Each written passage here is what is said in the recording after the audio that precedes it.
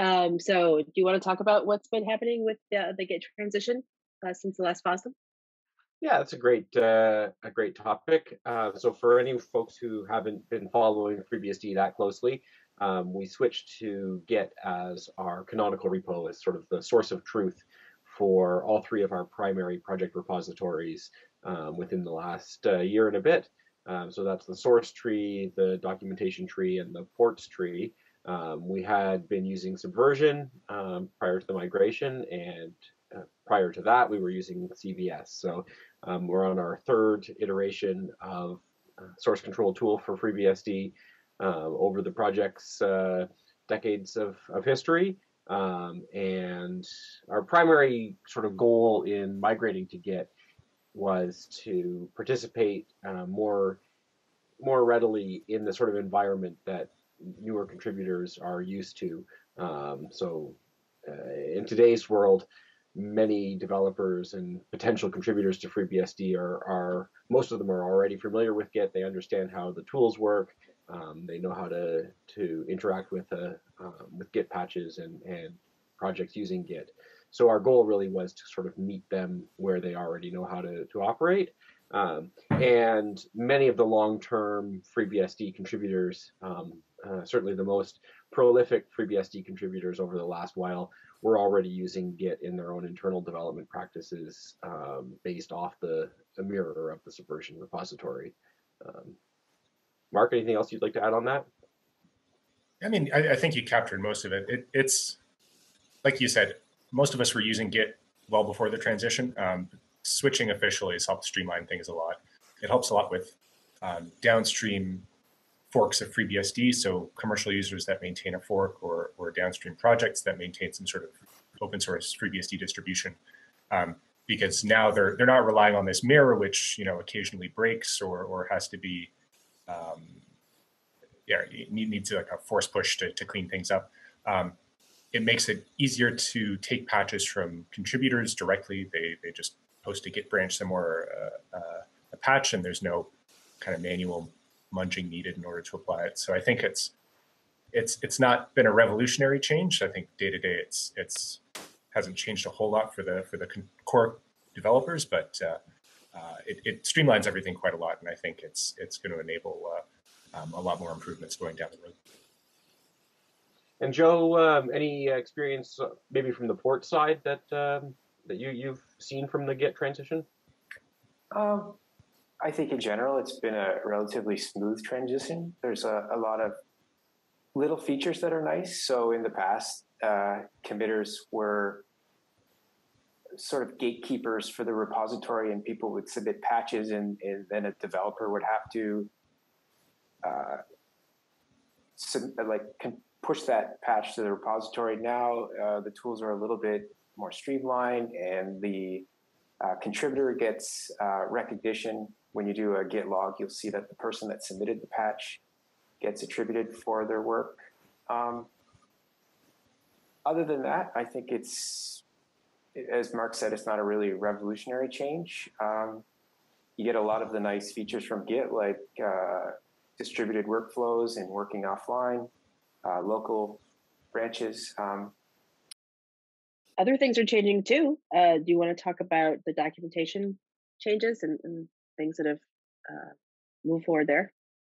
Uh, FreeBSD has uh, is well known for having um, good documentation and and for a long time has put a lot of effort into um, the the documentation that we provide for the operating system. So the FreeBSD handbook and various guides and things. Um, historically, that documentation was um, uh, was created using a technology called DocBook, which um, is maybe a little bit cumbersome and hard to approach for, for new folks. So um, this year, uh, we've had a migration to uh, reformatting all of the documentation into AsciiDoc um, and uh, basically making it more approachable and, and more readily editable um, for, for people who want to contribute. Uh, it's from a end user perspective, looking at the document, looking at the documentation on the website and such, um, you know, it's it's sort of a lot of work that didn't doesn't really have a particularly noticeable um, effect, uh, at least the change itself. I mean, the documentation is the same content and looks the same, at least uh, when the conversion was first done. Uh, but one of the nice things about it is is that um, the tooling allows for some some improvements from there. So, for example, if you look at the FreeBSD documentation website now, um, there's been a, a, bit of effort that's gone into reformatting it, and so it, it presents a um, a much sort of nicer, fresher look now than um, than what it historically had been. You want to talk about what's going on with like Phabricator and, and such? Sure. So Phabricator is an open source code review system. Um, I mean, it's actually quite a bit larger than that. It, it's kind of got a complete developer suite, issue tracker, and, and a number of other facilities. But we, we mostly make use of it for um, for doing online code reviews. Um, so in the past year, I, I, don't think we've seen a lot of actual changes. We've been using Phabricator for about, I would say, four or five years at this point. Um, but with the with the transition to Git, it's been easier to build tooling around um, some some aspects of Phabricator, uh, just to make contributor and developer workflows smoother. You know, uh, making it easy to uh, upload uh, upload commits as, as reviews and tagging the right people and, and making sure that um, appropriate reviewers get tagged when uh, when a patch is submitted. Um, so I think that's that's really reduced the friction for for contributors as well. I mean, I, I remember the days of working on FreeBSD before that. Usually, I would, you know, I'd have a patch and I'd write an email to to one or several people, or perhaps a mailing list, asking them to review, and, and doing that over and over again was kind of onerous. Um, so, I mean, obviously, there's there's lots of different uh, code review systems out there, email based ones, and so on. But I think Phabricator is, you know, while not perfect, has definitely uh, improved the quality of life for for FreeBSD developers and contributors. Um, and we, we make use of it across, you know, not, not just the source tree, but also ports and uh, um, and the docs tree as well. Yeah, and one one sort of note to uh, carry on from there. Um, the FreeBSD core team has had some uh, ongoing discussions um, uh, around workflow changes that we can build on top of um, the Git transition and uh, code review and um, CI hosted CI tools like Cirrus CI. Um, there's not an awful lot um, sort of the, to to show from this just yet, but the discussions are ongoing, and we're, we're looking at how to better support uh, pre-commit CI and uh, workflow improvements. There have been some other improvements in FreeBSD that I think enable uh, enable those kinds of things going forward. Like uh, we're perhaps going to talk about that a bit later, but uh, it recently became possible to build FreeBSD on Linux and Mac OS. Um, so that really opens a lot of things up because I mean a lot of hosted CI services don't really provide you know native FreeBSD builders. Um, Cirrus CI being being a notable exception, but um, I think being able to build um, in, a, in a Linux environment is, is quite useful uh, uh, for, for quite a lot of contributors and, and downstreams. Uh, so I'm, I'm pretty excited to see that continue evolving. Other workflow changes. It's not a workflow change, but I mean we've we've also been um, making quite heavy use of, of post commit CI, um, and, that, and, that's expanded quite a bit in the in the past couple of years. Um, not only do we run the FreeBSD regression test suite, but we you know we run with various sanitizers enabled. We run um, Linux compatibility tests, TCP tests, and other kind of specialized things uh, automatically um, when batches of commits get pushed. So those tend to find issues quite quickly, um, and, and mm, you know more often than not they find them before our users do, which is of course the goal. Um, so I, I, I, think that's going to continue to be uh, an important part of, of our development process, even though we'd like to do a lot of that testing before commits get pushed. Yeah, I think that's a good um, a good segue, uh, maybe into from the sanitizers um, into the work that you've been doing with syzkaller. Um, do you want to talk about that for a moment? Oh yeah, that's so that's another. I, I guess yeah, CI related topic. So syzkaller is a, is a system call fuzzer uh, developed by uh, Dmitry Vyukov at uh, Google, um, and so it basically generates random programs that uh, invoke system calls and runs them, collects coverage information from the kernel, and basically continues doing that in a loop until it finds something that crashes the kernel. Um, so it's found thousands and thousands of bugs across basically all major operating systems. Um, you know, it supports all of the all of the BSDs. Um, uh, Linux, of course, I think uh, some folks are using it to fuzz Darwin, and um, you know other other OS-like projects like gvisor. Um, so it's been enormously successful, and and uh, Google's been uh, kind enough to to run a public instance that continually fuzzes FreeBSD and Linux and, and other operating systems uh, and, and, generates email when it finds a bug. Um, so that that's been enormously useful. We've been able to catch quite a few bugs um, in short order as a result of that. Uh, so I, have done some work to make sure that syzkaller is um, kind of reaching as much of the kernel as possible in the sense that you know it knows about all of our system calls. It has ways to generate code, which which uh, exercises rarely rarely executed code paths where bugs tend to lurk, especially security related ones. Um, so that's found hundreds of bugs in FreeBSD. Those also get fixed pretty quickly. Um, syzkaller is quite good in that it generates reproducers for most of the bugs that it finds, so you can debug them rather easily. Um, and in the past year, we also supported several kernel, kernel sanitizers from uh, NetBSD, um, in particular the address sanitizer, memory sanitizer, and those those complement syzkaller quite well, uh, just because they they tend to catch bugs um, a bit more easily than than they would otherwise. So whereas before you might have a double free that leads to some memory corruption that eventually triggers kernel panic, with sanitizers enabled you catch that much earlier, and so debugging is simplified. Um, but I think as far as stability goes in general, FreeBSD has really uh, improved a lot in the past uh, year or two as a result of this work.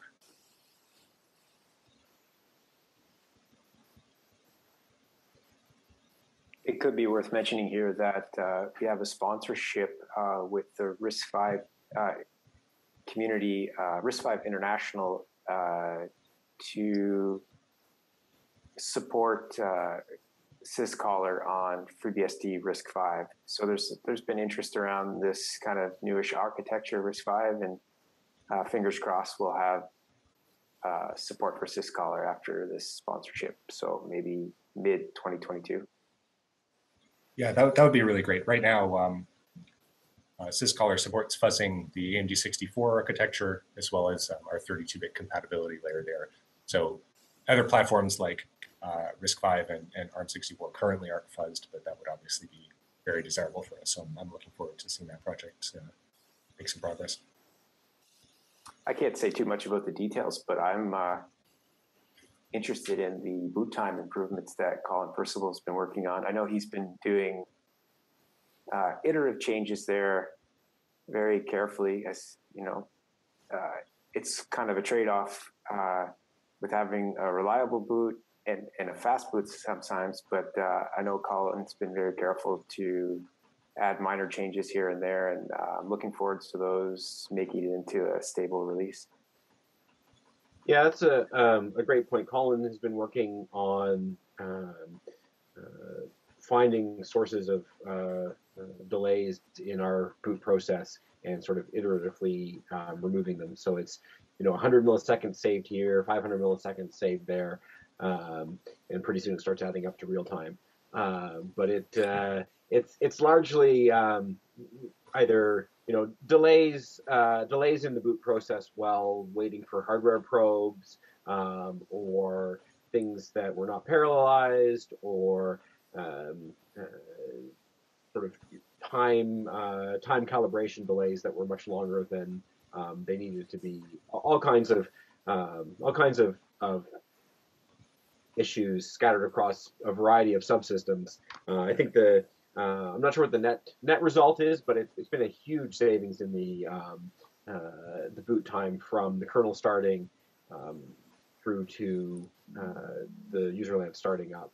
Uh, I think it's it, it's it's many many seconds that have been been saved off, uh, and I think we're we're less than half of the the time when we started. I don't know if Mark, if you have the it's it's certainly very noticeable, um, especially when you do things like developing a VM and you're frequently rebooting it um, to test kernel changes. It it really adds up, um, and it's I mean, it's just satisfying to you know boot up my laptop and, and have everything kind of fly by when I know a few years ago it was significantly slower. It fits in well with uh, the foundation's technology roadmap that includes uh, improvements to the laptop desktop experience. So uh, when you're you know at a conference with your laptop and you're rebooting frequently, it's nice to save a few seconds. Yeah, so Colin is um, is doing that work under a Patreon that he's uh, um, collecting sponsorships for. I'm just looking at the stats on the wiki page at the moment, and I see um, so uh, Colin started um, by analyzing 11.1 uh, release, which was uh, 28,208 milliseconds. Um, so 28 seconds, and then um, 14 current at the time that he tested it um, was 9,401, so about nine and a half seconds. So that's a, a huge um, reduction in in boot time.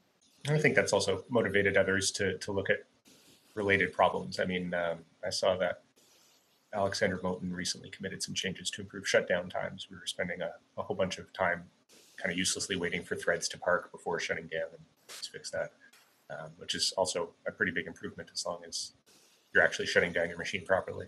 Um, so, yeah, there's, there's, a lot of nice improvements. And there's probably um, lots of uh, work to come on userland boot time uh, improvements uh, next uh, as the next step.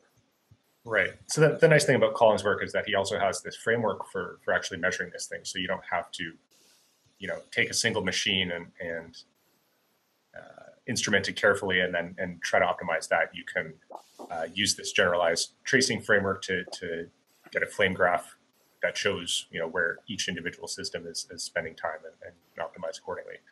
Um, so some you know newer systems were tending to waste a lot of time calibrating using the uh, the Intel 8254 programmable or, uh, interval timer. And uh, you know that that's the sort of thing that might show up as as a hotspot on on some systems, but not others. So, you know, being able to uh, explore boot times on your own machine and compare them with with others is uh, is really handy. Let's talk about uh, a big one here. Um, let's talk about ARM64 becoming tier one. So that is a, uh, a big item. Um, the FreeBSD project first started um, with ARM64 many, many years ago when Andy Turner um, started exploring it, uh, exploring the architecture as, just as a member of the FreeBSD community. Um, and then the FreeBSD Foundation stepped in, stepped in to help uh, uh, by sponsoring his work and collaborating with um, ARM and uh, Cavium at the time to help sort of improve the, the state of the ARM64 port. Um, and that's progressed to the point where the, the core team agreed um, last year to promote ARM64 to tier one. So at this point, the 64-bit x86 and ARM architectures are the tier one architectures in FreeBSD, uh, which means that they're the architectures for which we provide security updates and make sure that binary packages are, are available and release images are available and and sort of um, uh, that the security team will support and, um, provide us a, a quality um, uh, quality release. So uh, I think it's it's been a long time um, coming, and I think as ARM64 really sort of increases in interest and viability, um, you know, we've seen ARM64 becoming increasingly prevalent in uh, data center use in, in cloud environments. Um, and so it's it's really important that FreeBSD is is available and and just works um, in those environments. Um, there's still still a bit of a gap, I think, for ARM64 sort of developer workstation desktop type environments. Um, they're, they're a little bit more limited. Um, but there's definitely interest in the community uh, in supporting those. So um, although the support is, is not fully fleshed out at this point, um, things like Raspberry Pi 4 uh, work with FreeBSD, and, and you know I think there's definitely an interest in in continuing um, continuing to improve on Raspberry Pi and and on uh, platforms like the Pine 64 or um, or other ARM64 embedded boards. Um, but as far as the architecture itself is concerned, uh, FreeBSD ARM64 is, is, tier one, and packages and uh, security updates and everything just work. Anything else to add on those? Um, nothing really. I mean, it's it's just very nice to be able to use Graviton uh, too.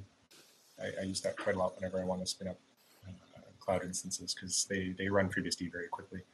Um, we've done some work to we, have done some performance work on the ARM64 port as a result of benchmarking on, on that platform, and just having that available very easily is, is definitely a great thing.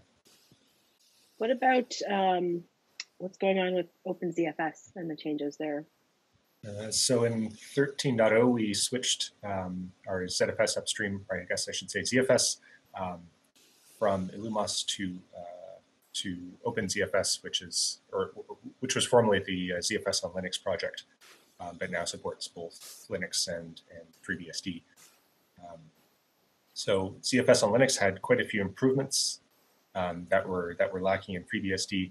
Um, I can't really speak to the to the particulars of that because um, I'm, I'm, not much of a ZFS power user. I, I my experience with it is, is fairly basic, um, but it definitely enabled a, you know a lot of a lot of workflows on FreeBSD that weren't possible before. Um, and OpenZFS also just at this point is is a much more active upstream for us. Uh, you know, there's a lot of contributors from different companies and, and lots of individuals who are submitting, you know, bug fixes, cleanups, performance enhancements. Um, if you look at their their GitHub page, it's it's quite active.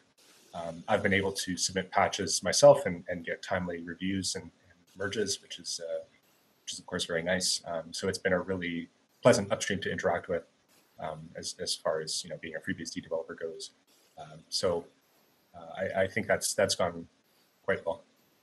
Yeah, I think one way to, to look at it sort of is in in the past, uh, Illumos was the upstream for the project, and we were a downstream consumer and sort of maintained our own port of it. Whereas with OpenZFS, uh, in in effect, it's not really necessarily an upstream uh, for us in the same way. It's it's that both Linux and FreeBSD now use this shared common uh, code base that we collaborate on, and OpenZFS basically just instead of being the upstream, it, it is the ZFS that's in FreeBSD and in Linux. Uh, let's talk about the what the foundation sponsored uh, recently and uh, what's happening there. How about with Wi-Fi? Sure, we'll start off with Wi-Fi because it's a um, a common uh, common thread of interest. Um, so for for quite some time, I think the foundation um, has received FreeBSD Foundation has received feedback that Wi-Fi is uh, an important gap um, in FreeBSD and, and is really limiting FreeBSD's use as a developer platform uh, on laptops and such. Um, and so we've been sponsoring Bjorn Zeeb uh, to for a number of, of wi- Wi-Fi improvements. Um, and the sort of starting off with a migration to the um, the Intel uh, shared BS, uh, dual licensed IWL Wi-Fi drivers um, that are also used in the Linux kernel for their for Intel's contemporary Wi-Fi um, Wi-Fi cards, Wi-Fi interfaces. So this uh, this work is in the tree now and is available. There's still sort of ongoing work to um, to get it uh, fully stable and, and usable um, but it is it is in the tree now and uh, supports the um, uh, the Intel uh, Wi-Fi NICs in contemporary laptops. Um, Mark, I don't know if you want to say a little bit about it from the context of the uh, framework laptop. Like it's it's clear at this point that a huge amount of work has gone into it, and I think there's going to be you know the usual long tail of bug fixing and, and stabilization. Um, uh, you know before before everything is really seamless, but I think, you know, a huge, a huge amount of the, the required work has already been done. Um, there's quite a few users on the mailing list reporting success and, and uh, uh, it's, uh, yeah, it, it's, it's definitely a pretty big milestone. Yeah, I think it's um, it's fair to say that there's there's a bit of work, uh, there's a bit of a bit of a road ahead of us still to um, to sorting out a, a number of issues, but uh, we're in we're in a pretty good position now um, and have a, a, a, great foundation to build on to to get that last bit uh, completed. Um, let's talk about uh, what's going on with LLDB. Sure, I can say a little bit about that. Um, so LLDB is the LLVM debugger. So it's what GDB is to GCC, maybe and uh, the foundation has worked with Moritz Systems to improve uh, support for uh, LLDB uh, with the ultimate goal of uh, allowing kernel debugging uh, with LLDB. LLDB. And so they've, first of all, Moritz Systems has done a great job at documenting their, their work. They've divided it up into six different milestones and they describe those milestones on their on their site. Um, briefly, the the first milestone was to uh, improve compatibility with GDB. So GDB is pretty uh, ubiquitous, and there's some interfaces that other tools expect. So they're improving that that compatibility. Um, another milestone was to add support for debugging uh, by serial port. Ed or Mark, do you have uh, anything else you want to add? Uh, I guess I can just mention that um, we've been working with Moritz Systems for quite a while on a variety of um, uh, LLDB projects. So uh, they started off by migrating to the um, uh, the standalone debug scheme that LLDB uses for all of the other architectures, um, which essentially, essentially means that LLDB starts a debug server and um, runs the, the target that you're debugging underneath that debug server. Um, so it does that both for local and remote debug, um, which has a, a, number of sort of nice uh, attributes, both in terms of how the debugger itself operates um, and just for testing and reliability. It means that remote debugging and local debugging um, sort of by necessity work as well as well as each other and and um, inherently get tested in, in, because remote debugging local debugging is remote debugging um, in effect. So that was the the first project that we started with um, and just sort of general stability improvements for LLDB on FreeBSD um, they started or they followed that with some improvements to various architectures uh, as Joe mentioned um, and then the most recent one is is adding support for kernel um, debugging both core files and live live kernel debugging. Um, and this work is all in upstream LLDB um, now and, and is going to be in the LL, uh, in LLVM's 14 uh, release. Maybe it's worth mentioning why. I know John Baldwin does a lot of work with GDB and, and it's uh, well used by a lot of developers. Um, why is it important for us to improve LLDB? I, I mean, the obvious one is the is you know, we generally have a preference within FreeBSD for permissive licenses, and, and LLDB has that. Um, I, I think Mark or Ed would have more to say about other reasons why we feel it's good to have good support for this alternative debugger. Yeah, I mean, I think it's um, at the end of the day, uh, the debugger is, is something that you know is is historically a debugger has been part of FreeBSD's base system, and, and we'd like to keep that.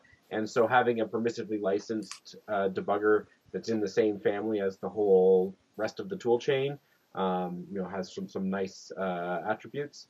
Um, in, in, some ways, a debugger is a, a different sort of um, uh, situation than something like the compiler or linker or other parts of the tool chain um, because everyone who builds something on FreeBSD, uh, who compiles software, uses those other toolchain components. It, it, sort of affects everyone. Whereas the debugger is is specifically used by developers who are investigating um, crashes or other problems. Um, and so, you know, there's there's less absolute need for us to have a debugger as part of the base system or to have a permissively licensed um, debugger, but I think it is it is still something that we want to be able to have a, a full suite of um, of tools available and having them all share the same licenses um, uh, is important. Um, as well, there are a few nice attributes about the way that LLDB works.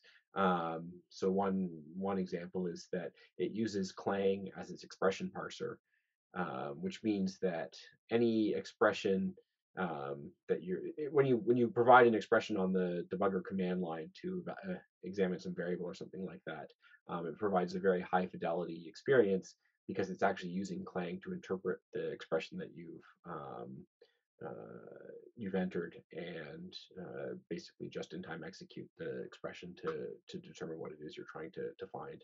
Um, the the comment that I made earlier about the way that LLDB operates um, with the debug server is also something that um, is is quite nice um, and with some future work should allow us to to provide some um, some more mm, some more friendly debugging environments, um, debugging tool uh, cases. Um, but I think at the end of the day, um, you know, people who developers who are already familiar with GDB, um, GDB exists on FreeBSD and, and works well, and and um, you know, people are free to use it. Um, but uh, um, having LLDB available and having um, LLDB uh, having the ability to compile LLDB on other operating systems, say, and then debug a FreeBSD process um, using remote debugging um, is, is another kind of nice feature that um, that is uh, well supported by by LLDB. Do we want to talk about um, Open SSH two-factor authorization? Sure. Um, so uh, FreeBSD contains a copy of OpenSSH in the base system and is generally kept up to date on a regular cadence when upstream releases um, come out. And so that's been continuing. We have um, OpenSSH 8.8 in the base system at this point, which is the, the latest release. Um, but one of the recent additions to um, OpenSSH upstream was the addition of uh, FIDO uh, slash U2F keys. Um, so things like YubiKeys, um, universal two-factor authentication um, devices. And upstream, OpenSSH added support for this um, in the, the recent past. And with the update in FreeBSD, we've enabled it in the base system as well. So this inv- uh, involved adding libfido and libcbor to the, the base system to be used by OpenSSH. And SSH in the in the base system now can use a um, a YubiKey or a solo key or any of the other um, U2F keys uh, to authenticate to a remote um, SSH server. So this is this is a feature that um, you know people have been um, quite interested in for some time and has been available in the base or in the in it's been available in OpenSSH in the ports collection for some time, but um, it's convenient to have it available in the base system OpenSSH that's just available out of the box as well. Well, I know, uh, Joe, you mentioned John Baldwin. Let's talk about what's going on with WireGuard support. There was some question about the stability and quality of the um, WireGuard implementation that was prepared for the FreeBSD tree. So the foundation um, foundation worked with John Baldwin to review the existing code and prepare um, prepare the OCF um, uh, prepare the FreeBSD kernel's OCF implementation to support WireGuard's needs so that WireGuard can just make use of the functionality that already exists. Um, yeah, that makes sense. I mean, the, the new implementation that he's been working on is quite a bit smaller um, than, than the one that was in FreeBSD previously. Um, he's had to do some quite a, quite a bit of refactoring and I think overall improvement in the in the crypto subsystem uh, to accommodate WireGuard. So I think that's going to benefit more than more than just WireGuard. Yeah, so I, I think in effect, um, John's work has um, sort of refined and improved OCF in FreeBSD um, with one major outcome being that WireGuard is able to make use of those primitives, um, and an in-kernel FreeBSD WireGuard is much um, uh, much smaller and sort of more self-contained um, than it would have otherwise been because it can make use of the functionality that now exists um, in the FreeBSD kernel. And uh, John has also, so John has been working both on OCF in the FreeBSD kernel as well as changes to uh, WireGuard to make use of the functionality that's now provided in OCF and just sort of general review and improvements of the FreeBSD WireGuard um, uh, implementation. Well, let's talk about what's coming up. What's on the horizon for uh, for FreeBSD? Um, I know another big item that's gotten some news recently, the um, Morello, the CHERI Morello project out of Cambridge and, and ARM. So somebody want to highlight that? Yeah, so I think this is a really interesting project um, that is not FreeBSD per se, but one in which FreeBSD plays a, a really big part. Um, so the the CHERI project um, is an extension of uh, processor instruction set architectures, uh, ISAs, to support capabilities. Um, and there's there's a lot to go into to kind of try and explain um, uh, the background there. Um, and I think the the best uh, we're not going to be able to cover it in in a few moments here. Um, but uh, in effect, capability is sort of an unforgeable. Um, uh, you can think of it as um, a pointer uh, that's extended to be um, to have additional information, i.e., uh, a length and, and bounded limit. Um, and it's an unforgeable um, token that allows access to the memory that it references. Um, there's, there's lots beyond that, um, but one of the keys is that it provides sort of guaranteed um, spatial safe, spatial memory safety. Um, so it's, you know, if you have a capability that references some piece of memory, there is no way to use that to access anything outside of the, the memory that it, it references. Um, and so the, the CHERI um, research project at the University of Cambridge started with um, a derivative of the MIPS ISA for, um, for their initial research and uh, has been extended to provide implementations for uh, ARM64 and RISC-V as well. But the Morello project is is particularly interesting um, because this is work that ARM itself has done to actually fabricate a physical um, uh, a physical CPU um, using uh, uh, Morello, which is the the um, experimental ARM64 implementation of of CHERI capabilities. And so this is a um, 64-bit ARM CPU um, with capability register extensions um, that can run uh, FreeBSD, uh, CheriBSD, which is the um, which is the FreeBSD derivative that the, the CHERI folks have created um, that provides a, a fully capability enabled um, uh, kernel. And these these systems are starting to ship um, uh, to researchers. Uh, the, the, initial systems have shipped to, to Cambridge, and and additional systems are shipping to various researchers looking to use this, um, looking to to continue their their research on this this platform. Um, what else uh, is coming up? What's what's up with bhyve and ARM64? So this is uh, on our roadmap um, for foundation sponsored work that um, uh, Andy Turner can take on.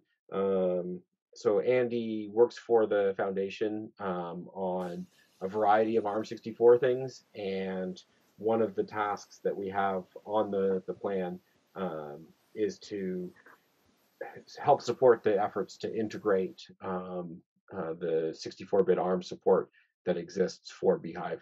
So there are patches that exist today um, to add 64-bit ARM bhyve support, um, but there's there's some work that needs to be done just to get them into an integratable state and resolve some outstanding issues.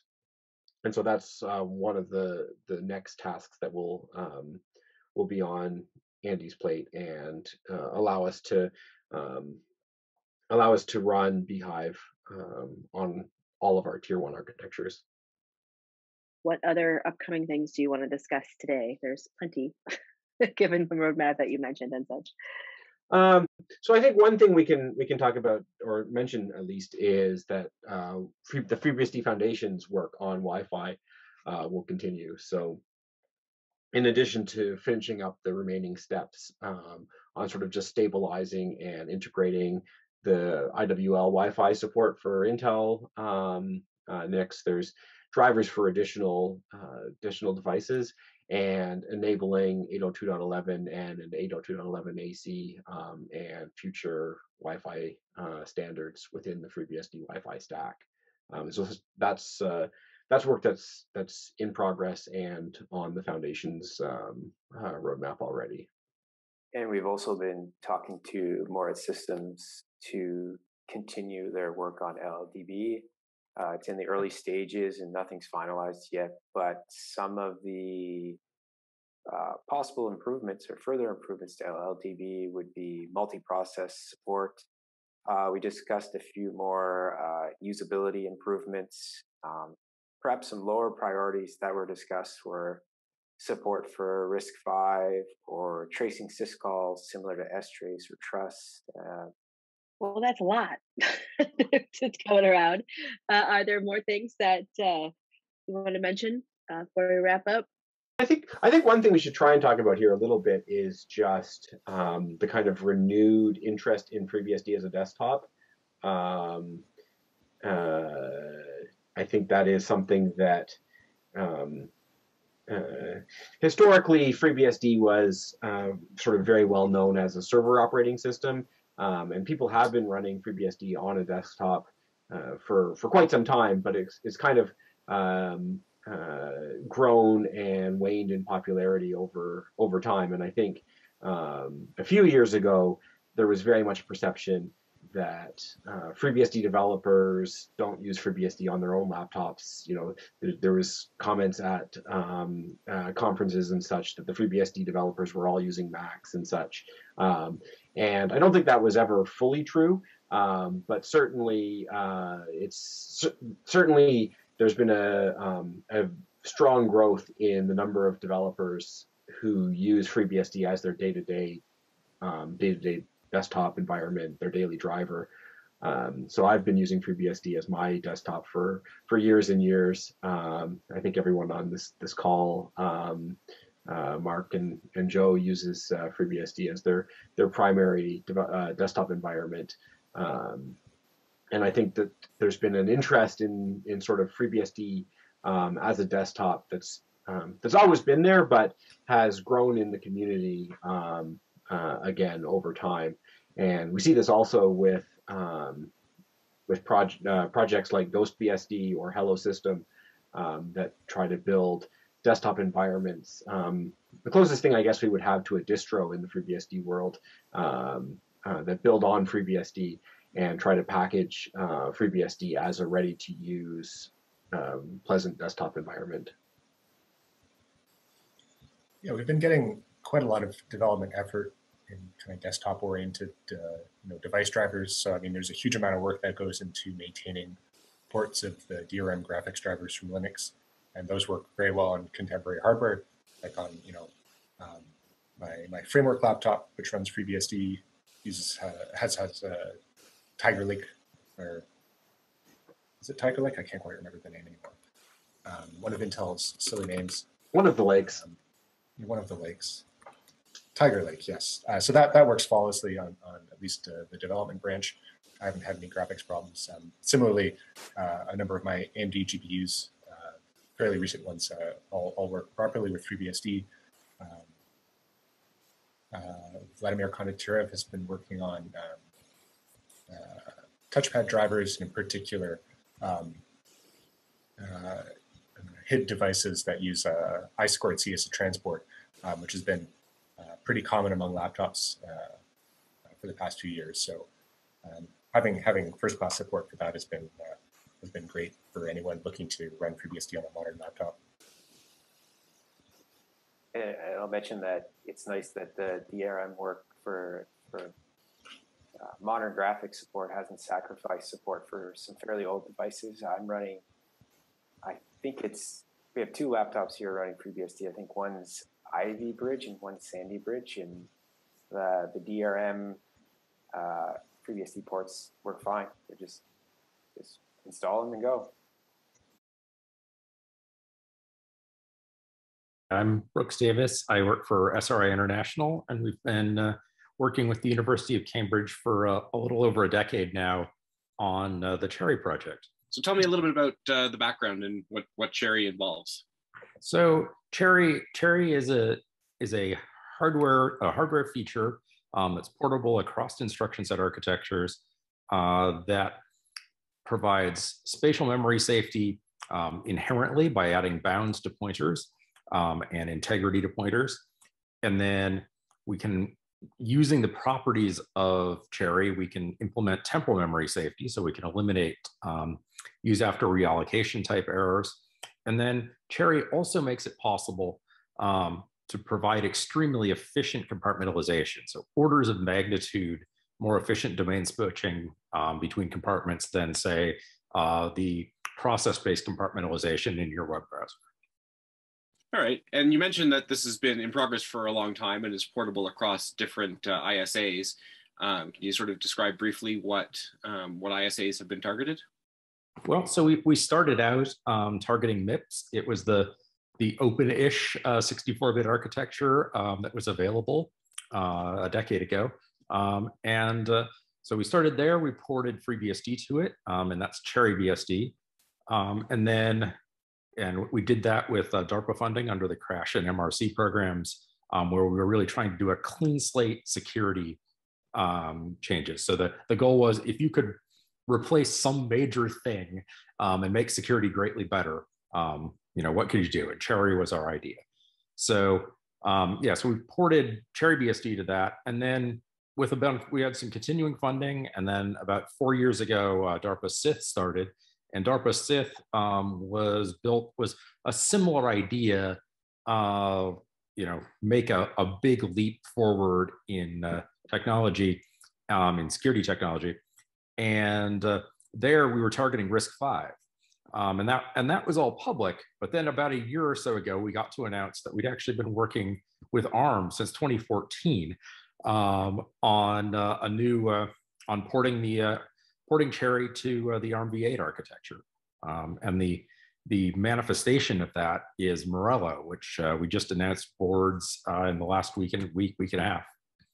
Excellent. So I'd like to get to Morello in, in just a moment, but uh, first I'd like to talk a little bit about CheriBSD and if you can kind of describe um, how that relates to the, the FreeBSD project. Um, what's, uh, what's the same and what's different uh, in CheriBSD versus FreeBSD? Um, yeah, so, so the, the big difference is that in CheriBSD, um, all pointers in user space are uh, CHERI capabilities, which means they're unforgeable. They have uh, tightly set bounds, and we really implement the idea of least privilege, the principle of least privilege at um, the pointer level in the in the program. So we we really express with the language um, the intent of the, pro the programmer's intent through the language um, and take that all the way down to the hardware. So we eliminate lots of buffer overflows uh, for something timely. Um, we would eliminate virtually every step along the way of exploiting the recent uh, Holakit uh, uh, vulnerability um, that sat in, in Unix for 14 years. There is no way that almost any of the bugs in the in the system could could affect us. Uh, and then so so all of user space has been pure has been what we call pure capability, where all pointers are capabilities for quite some time.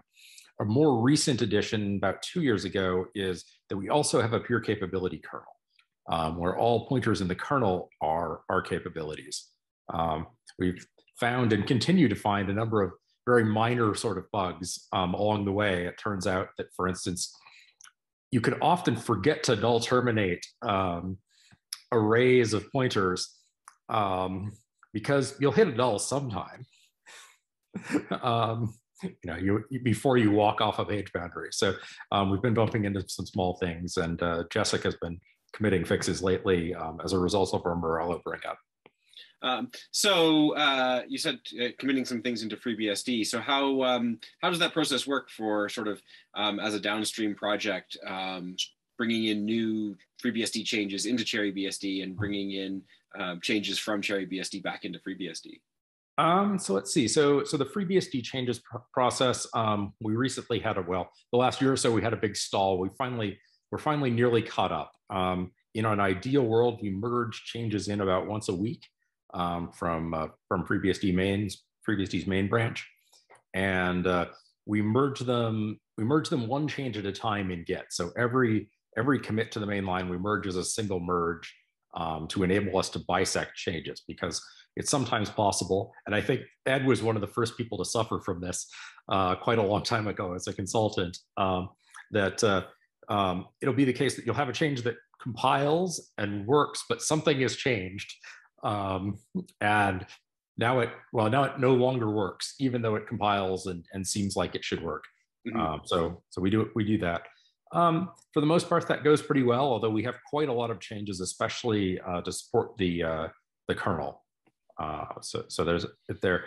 Um, our upstreaming strategy is pretty much well, it's a bit in fits and starts. Um, but uh, generally, as we find changes that are general improvements, um, better better expressiveness, um, better clarity in the code, we'll try to upstream those things. Also, just things where uh, the changes we need for CHERI make the system um, clearer, have clearer distinctions. Um, you know, as as FreeBSD, like any long running code base, some things were written uh, back, you know, when there was one architecture, and uh, things evolve from there, and maybe not always the right way. So we've we we like to push cleanups when we can. Um, and sort of in, in general or in, in broad terms, um, what would how would you describe sort of the the scale or scope of changes? Uh, what makes CHERI B like? What is the the the size of CheriBSD's changes relative to FreeBSD? Um, let's see. I, I don't have the numbers right in front of me at the moment, um, but uh, I think in the kernel we're at a percent or two, and that's in terms of lines of lines of code change. That's quite high, and that's because the kernel is actually both a pure capability program, which requires some changes in structure to make sure that rather than manufacturing addresses out of nowhere, um, we derive pointers from other pointers. Um, that requires some changes, but hybrid takes a ton of changes because in the hybrid mode, some pointers, which is to say all pointers to the user space, are capabilities. So that requires annotations to flow down through the code base. And that's, that's the source of lots of our changes. Um, in user space, I believe we're below 1%. Um, and a study recently done um, using CheriBSD to bring up a very basic desktop stack um, ended up with, I think, 0.2% changes, um, possibly lower than that. So uh, very, I think 0.02% changes actually on a basic KDE stack.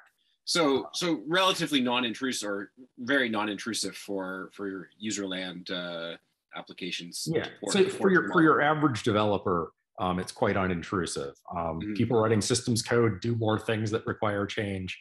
Um, older, cruddier code requires more change.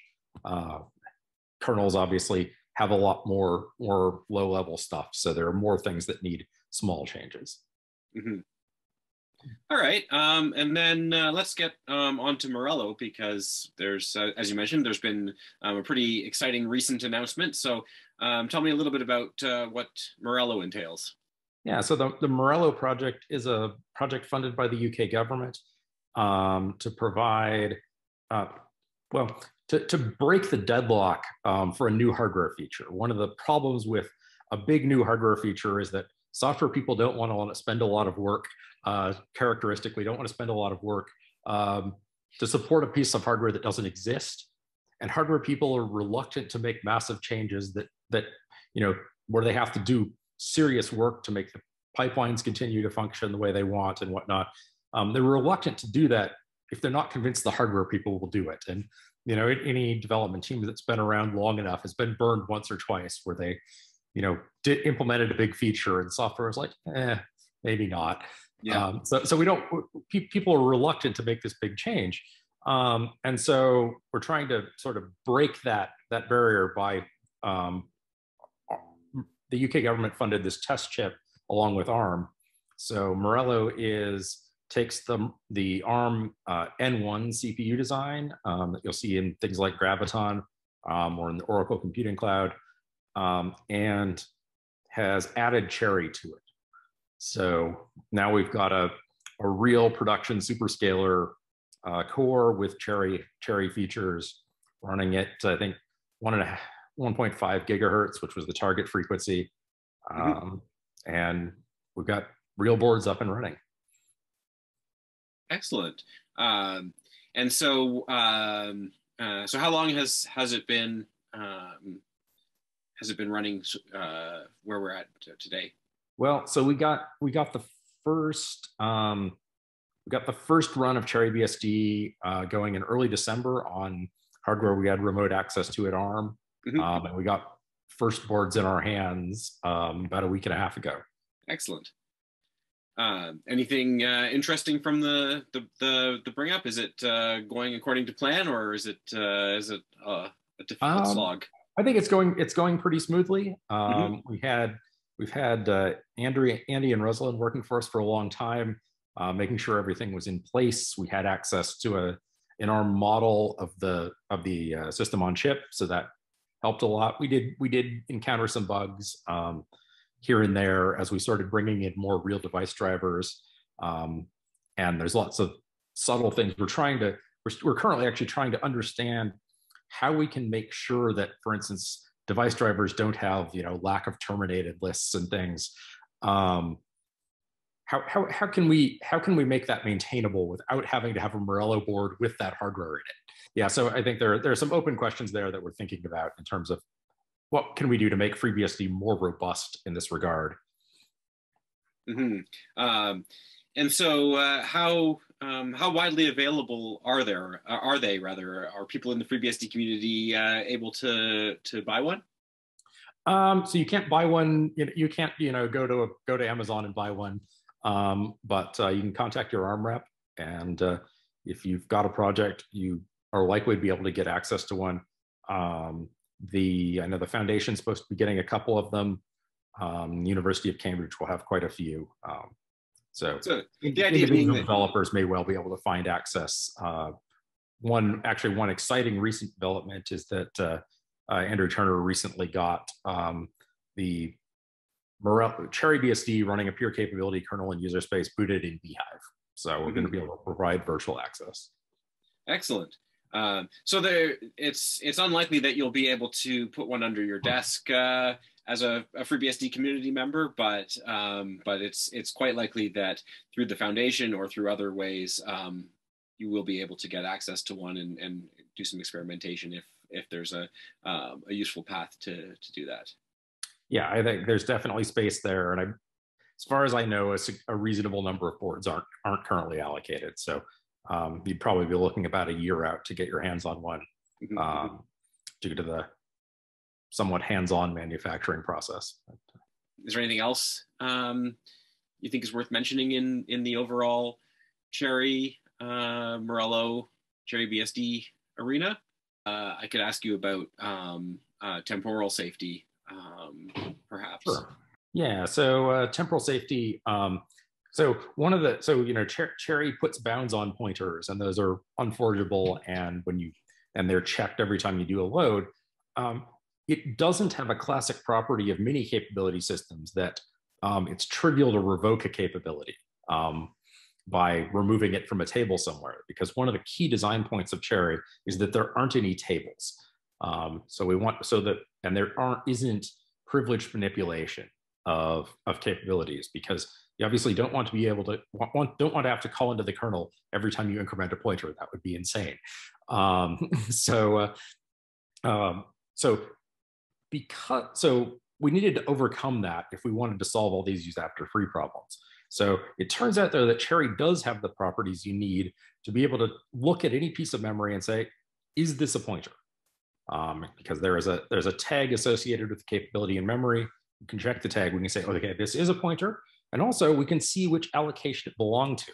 So if we have a list of allocations to revoke, we can reliably revoke every pointer in the system um, to that allocation, um, whether it's in registers, whether it's laying around on the stack um, after return or, or whatever.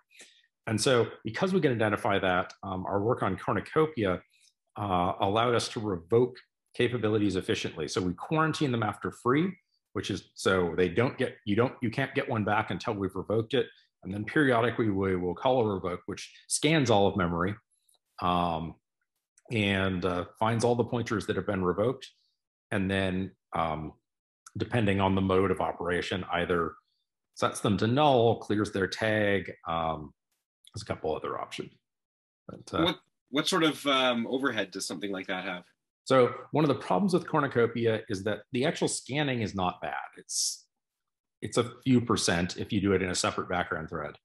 Um, where in the current Im- implementation, though, at some point you have to synchronize all the threads, cause them to enter the kernel, and then do a final scan. And that the pause times on hardware were a bit long.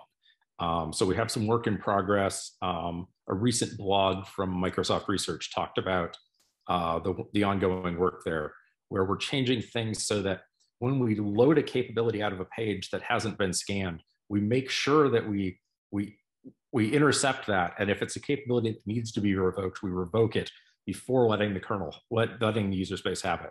And that should let us cut down dramatically on pause times, and uh, hopefully will be enough to improve performance uh, to the point that you won't have to carefully hide um, your revocation. Uh, we're also interested in the possibility of looking at places in uh, programs, especially interactive programs, where you can sensibly hide um, the cost of revocation, mm. um, where a small pause won't be noticeable. You're already waiting.